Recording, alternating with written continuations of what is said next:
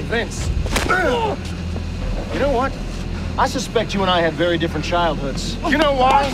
I don't know about you, but when I was seven years old, the thing I wanted more than anything in the world was a Schwinn Sidewinder. Out of the three, if I could, if I had to choose one, it would be the theater. But it's very, unless you're Matthew Broderick or Nathan Lane, it is very difficult to make a good living in the theater, even on Broadway.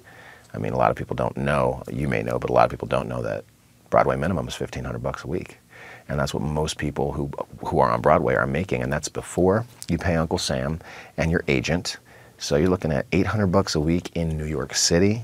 Forget about it. You know, it's really hard to get by.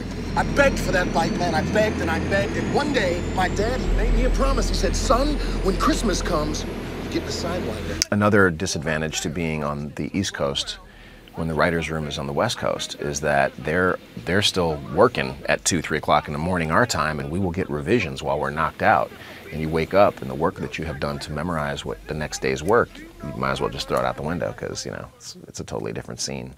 So, but that you know, it's a muscle that you develop over time, and uh, most of us are pretty good at memorizing stuff quickly. But then the I think the performance suffers a little bit because now you have the lines, but the choices now, you know what I mean, are a little fuzzier.